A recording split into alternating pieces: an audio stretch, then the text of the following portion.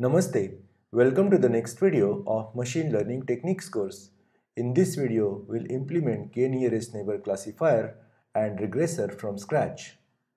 K-nearest neighbor, as you know, does not have any model. It stores all examples in the training set. For a given value of k and selected distance matrix, KNN uses the following steps to assign label to the new example. First, it finds the distance between the new example to all other examples in the training set and then select k nearest neighbor and get their labels. The label or the output to the new example is assigned based on the labels of these k nearest neighbors. K nearest neighbor technique can be used for both classification and regression problem. For classification task, it assigns the label taken by the majority of the k nearest neighbors.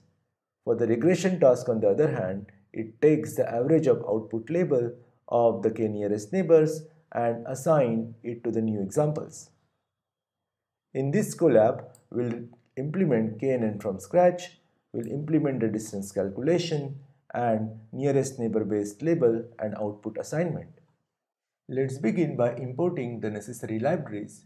We import NumPy and plotting libraries as well as some utilities from sklearn mainly for making the datasets and for training and test splits. First, we'll implement the distance computation between two examples. We implement two functions, one for Euclidean distance and second for Manhattan's distance. In Euclidean distance, we take two arguments x1 and x2 and both of these x1 and x2 are row vectors x1 can have multiple rows. In that case, this function returns Euclidean distance between every row in x1 and x2. It returns a distance which is a vector of Euclidean distance between every row vector in x1 and x2.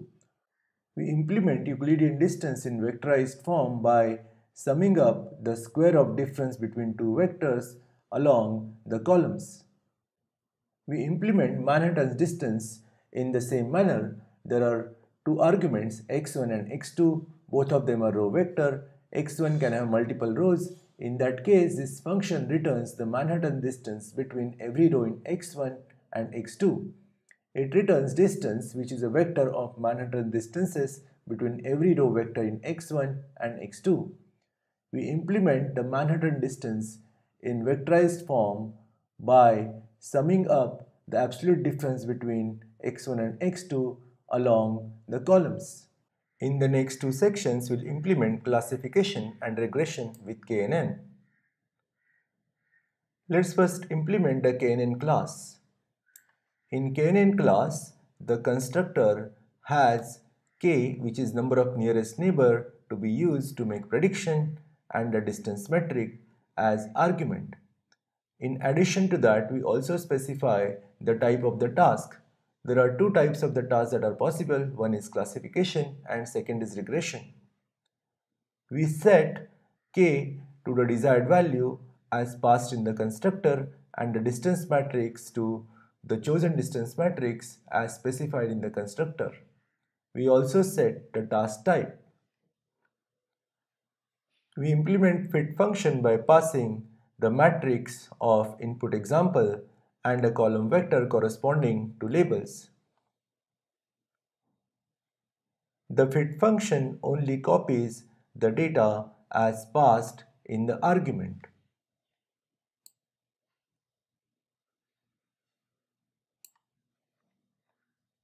Prediction is the function where most of the action is happening in KNN.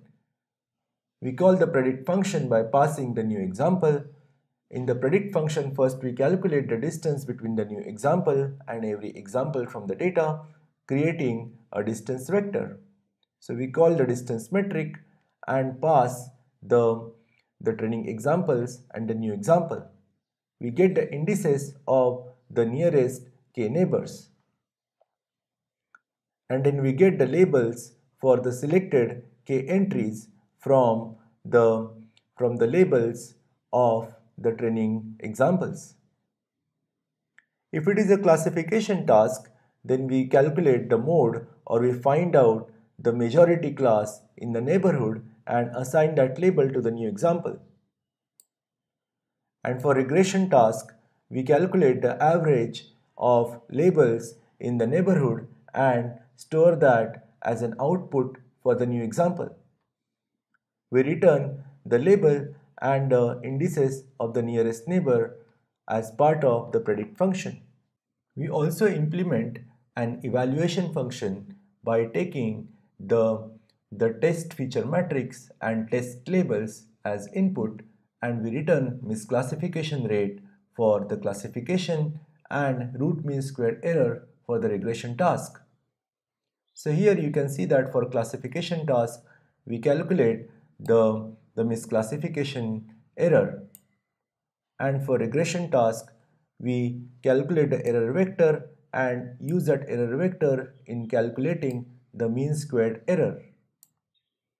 We demonstrate classification with two examples. The first example has simple decision boundary between two classes.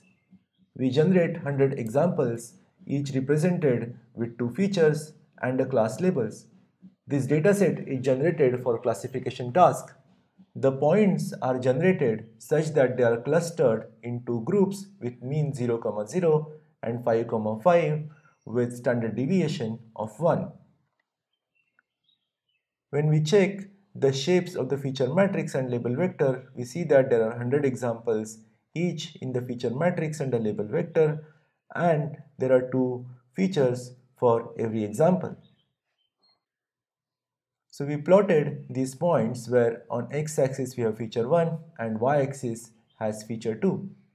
So these are examples from two classes. One class is represented with black points and the second class is represented with the white points. We'll apply a KNN technique in order to assign a label to the new example. In this case, we set the value of k to 3 and we use Euclidean distance as a distance measure.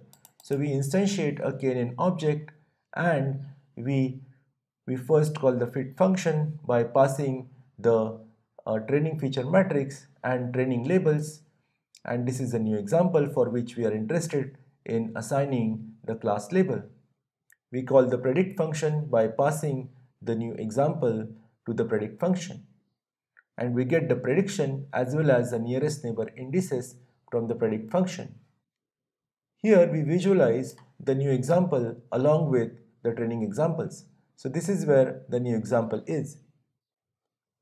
We find three nearest neighbor for the new example and these are the three nearest neighbors. There are two neighbors from class from class white and one neighbor from the class black.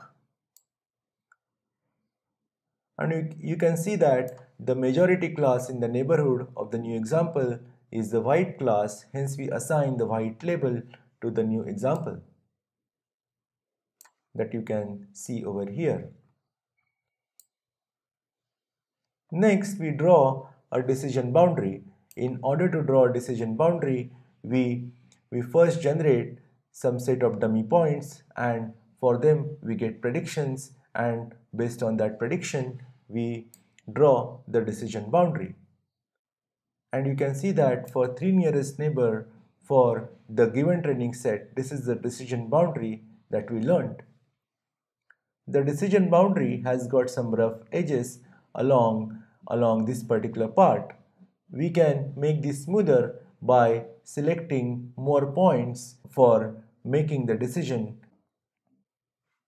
Let's take the second example where we have complex decision boundary between two classes.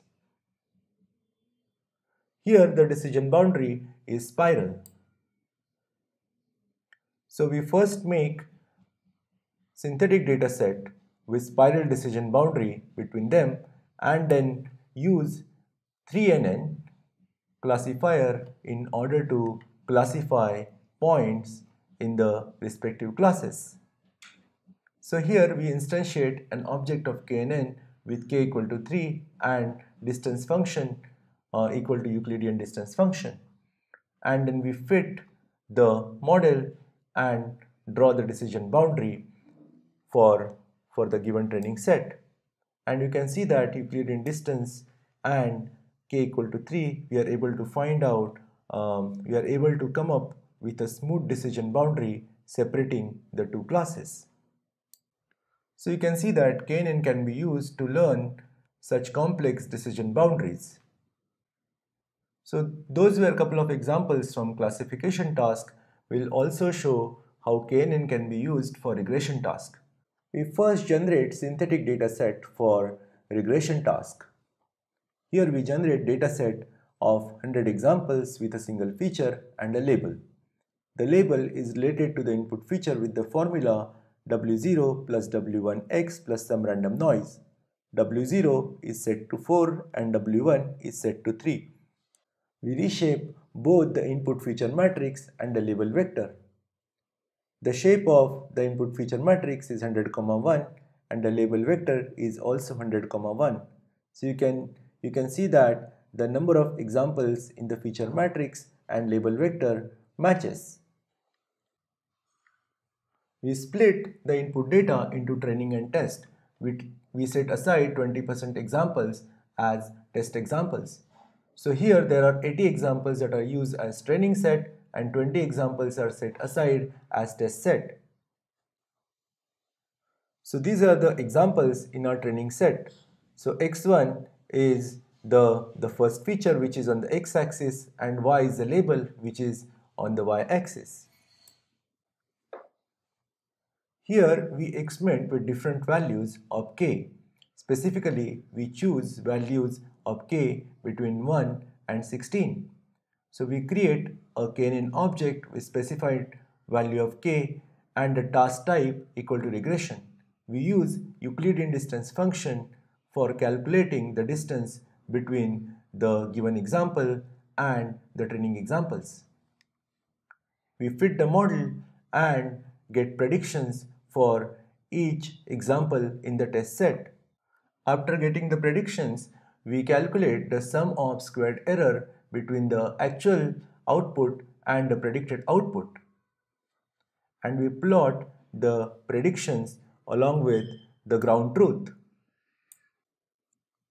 So these are different predictions that we that we get for different values of k. So here you see the prediction for k equal to 1. So blue point is the actual label and the red point is the predicted label. So we have displayed actual and the predicted value of, uh, of, the, of the label for different values of k.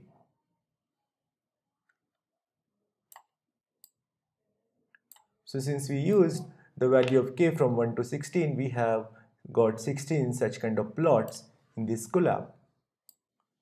We try to choose the best value of k by plotting the value of k on x-axis and error on the y-axis. So these are errors that we obtained for various values of k in KNN k equal to 10 seems to be an optimal value for k based on this particular plot. k equal to 2 also has very similar result as k equal to 10 but it has got slightly higher error.